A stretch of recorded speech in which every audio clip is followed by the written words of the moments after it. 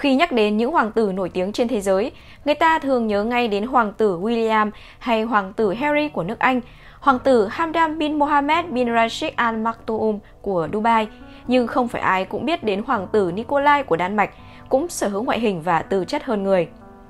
Hoàng tử Đan Mạch có tên đầy đủ là Nikolai William Alexander Frederick, sinh ngày 28 tháng 8 năm 1999, là thành viên của Hoàng gia Đan Mạch.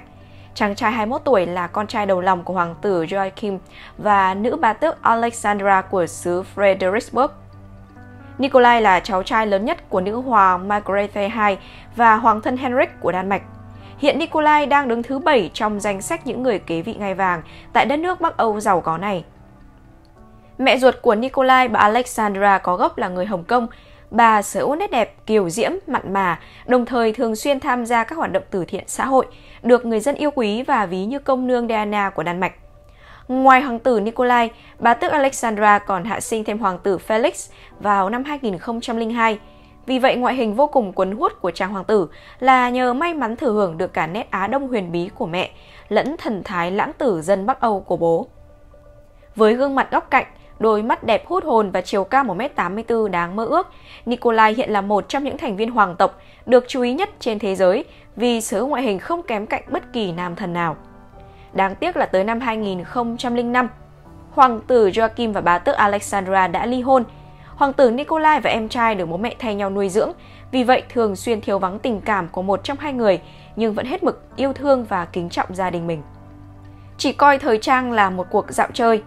Sinh ra và lớn lên trong một gia đình hoàng gia mẫu mực và giàu có, nhưng hoàng tử Nikolai lại ít được biết tới với danh xưng hoàng tử, thay vào đó là một người mẫu.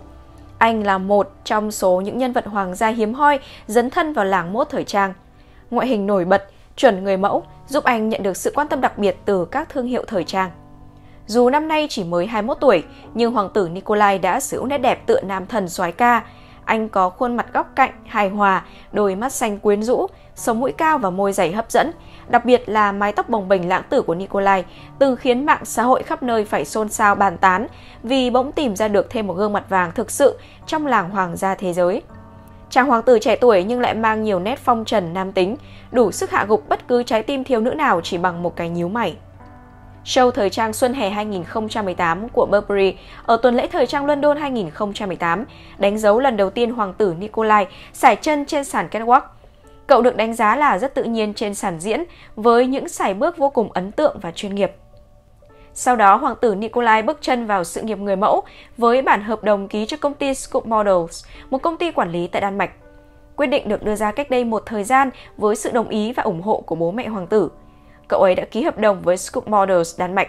Giám đốc của Scoop Models, Ben Lundquist, trả lời trên tờ InStyle – những hình ảnh đầu tiên của hoàng tử Nikolai với tư cách người mẫu sau đó được hé lộ và ngay lập tức khiến trái tim nhiều thiếu nữ phải rung lên vì thổn thức. Bằng nhan sắc trời phú và thần thái đỉnh cao, ngay sau khi bước chân vào ngành thời trang, Nikolai đã trở thành một hiện tượng mới khi được chọn làm người mẫu vedette cho nhiều show diễn năm 2018 của Dior. Hoàng tử Nikolai không phải thực hiện các nhiệm vụ hoàng gia, gia đình của anh cũng không muốn ép buộc mà để cho anh tự quyết định tương lai và cuộc sống, bao gồm cả việc làm người mẫu. Nhanh chóng lấy được chỗ đứng vững chắc trong làng thời trang và là con cưng của nhiều nhãn hiệu cao cấp là thế, nhưng Nikolai từng chia sẻ với báo giới rằng đối với cậu, thời trang chỉ là một cuộc dạo chơi. Nikolai cho biết mình sẽ không dừng nghiệp mẫu nhưng cũng không xem nó là ưu tiên chính. Thay vì sẽ sống dựa vào thu nhập đến từ các show thời trang hay hợp đồng quảng cáo, chàng hoàng tử 21 tuổi sẽ lựa chọn học ngành quản trị kinh doanh tại Đại học Copenhagen ở Đan Mạch. Tôi sẽ không xem người mẫu là nghề chính, nhưng nó sẽ giúp tôi có chi phí chi trả cho việc học và theo đuổi đam mê kinh doanh của mình. Thật không ngoa khi gọi Nikolai là hoàng tử cực phẩm vì không chỉ xuất thân là trầm anh thế phiệt, nhan sắc phải liệt vào hàng thứ dữ, mà cậu chàng còn giỏi kiếm tiền, thông minh và biết nhìn xa trông rộng.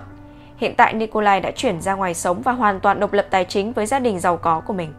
Có bạn gái xinh đẹp, xuất thân cực ưu tú, Sở hữu vẻ điển trai cùng xuất thân hoàng tộc cao quý, Nikolai khiến không ít chị em nuôi mộng được làm lọ lem một lần để sánh bước bên hoàng tử. Tuy nhiên mới đây nam thần Lai Âu Á này lại vừa xác nhận quan hệ yêu đương cùng bạn gái 21 tuổi, khiến không ít người hâm mộ tỏ ra tiếc nuối. Được biết, nữ nhân may mắn chiếm trọn trái tim vị hoàng tử trẻ tuổi cũng có profile khủng không kém cạnh gì người yêu mình.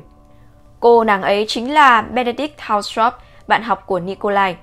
Cả hai đã hẹn hò trong khoảng 2 năm rưỡi khi cùng học một trường trung học tại Herlufsholm. Hiện cả hai đều là sinh viên của trường kinh doanh Copenhagen ở Frederiksberg.